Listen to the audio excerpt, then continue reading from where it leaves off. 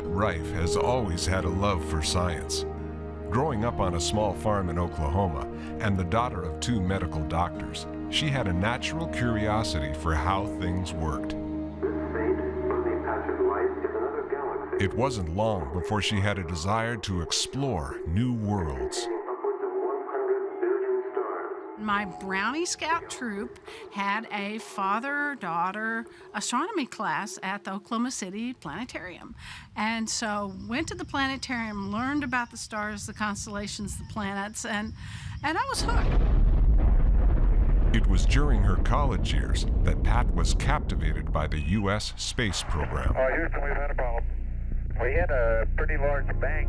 Okay. Here came Apollo 13 and the explosion that was life threatening, and they had to use duct tape and dryer hose to, to save their lives. And to me, that said, that called to me.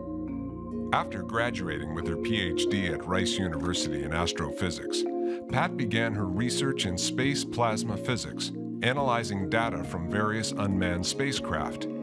It was her work with the Dynamics Explorer mission that led to an exciting discovery about the Northern Lights. We flew a spacecraft, one spacecraft that was below and one spacecraft that was above and we could see the electrons coming down and being accelerated by an electric field to hit the atmosphere, and at the same time, ions from the atmosphere being accelerated by that same electric field upwards.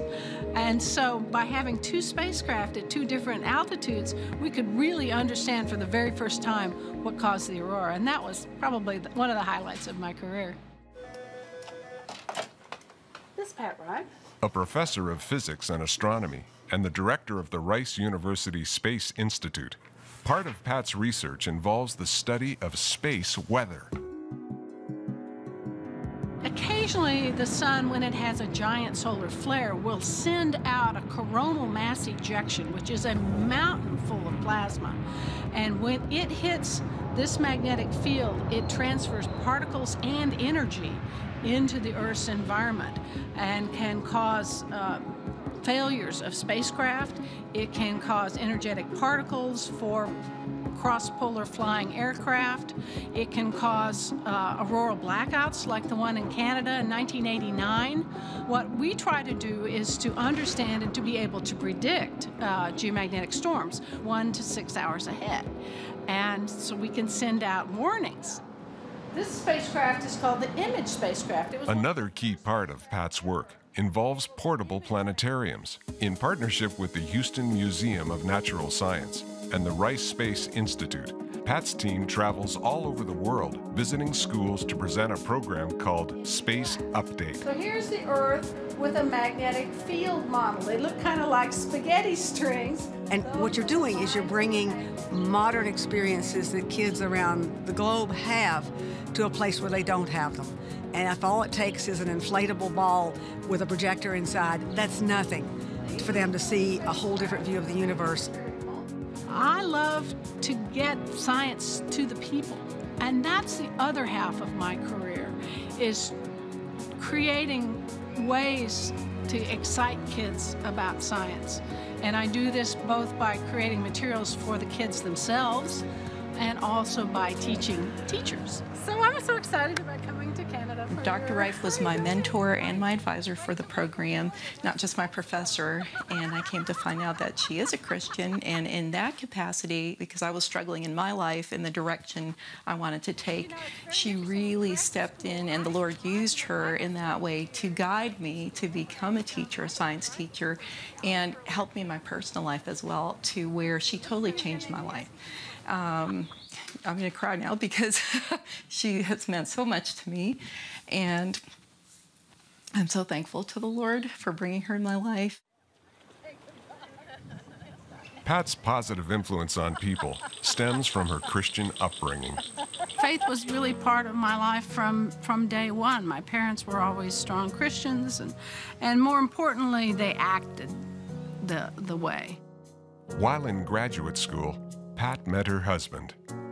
Married now for more than 37 years, it was only a few years ago that Tom suffered a near fatal brain aneurysm. while we were in the ambulance, he went into convulsions and he was uh, shaking all over. And I laid hands on him and played the blood of Jesus over him, and he just relaxed. And I think that was a big turning point.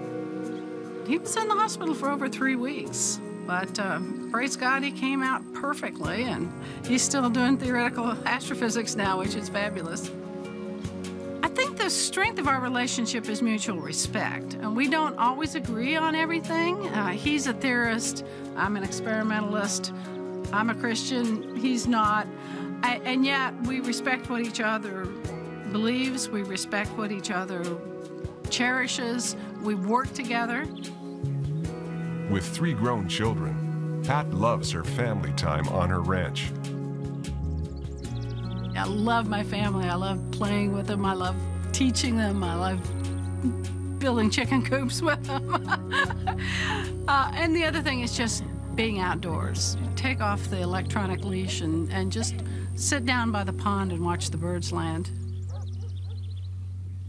She is a very open minded person. She's put up with a lot from her three very impertinent children. So she still loves us completely. She is totally tolerant of the fact that we believe differently than she does. And she just, uh, she just loves us no matter what. Pat's local church community has been a huge source of inspiration.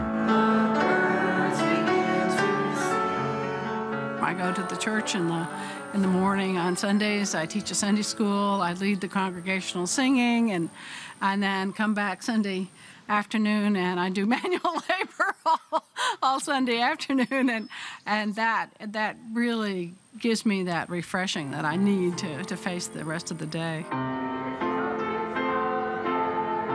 Not only has Pat's faith in God given her inspiration, it has also encouraged others. Not wife is somebody who can uh, wear different hats and still be the same person.